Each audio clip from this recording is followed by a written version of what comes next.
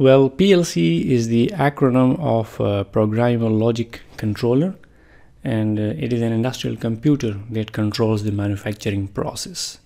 Manufacturing processes like food and beverages, pharmaceuticals, cement, oil and gas, automobile manufacturing, all these manufacturing processes require PLC as its core component for controlling the process. In any manufacturing facility, there are lots of mechanical equipments like belt conveyors, pumps, compressors, bucket elevators, fans, valves, actuators, dampers, etc. And the opening and closing of uh, valves or the operation of belt conveyors, pumps, compressors uh, is controlled by a PLC. While at the same time, the PLC reads data from uh, various sensors like temperature, pressure, flow level, humidity, vibration, etc. Right? All these sensors send their data to a PLC and uh, after processing the data based on the program stored in the PLC memory, various devices or various equipments uh, like belt conveyors, pumps, compressors, bucket elevators, fans, valves, uh, actuators and dampers are controlled by a PLC. Uh, the PLC sends uh, commands to the uh, electrical motors and they ultimately uh, drive belt conveyors, pumps, uh, bucket elevators and fans etc. Right? And also it sends command to the valves and the valves then ultimately are being opened and closed based on the program stored in the PLC. So uh, in any industry, we have lots of sensors and mechanical equipments. So the sensors data is being monitored by a PLC while the operation of all these mechanical equipments uh, is controlled by a PLC. So this is how it controls the process. To further understand the working of a PLC, let me draw an analogy between the PLC and a typical computer system.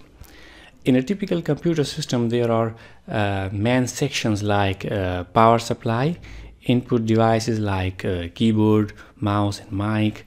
Uh, there is a memory, a processor, a communication card, and there are output devices like monitor and speakers, right? What happens in a typical computer system keyboard, mouse, and mic through, uh, for example, these these three. I have given an example of these three input devices.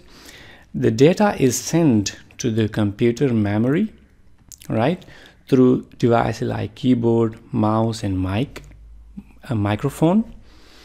The processor processes the raw data coming from these input devices based on the program stored in the memory and uh, send output signals to monitor speakers right etc there is a communication card uh, and its purpose is to send the data from this computer to a network right to an internet uh, network.